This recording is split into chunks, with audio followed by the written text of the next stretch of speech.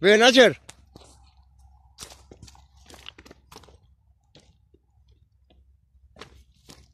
¿Vamos?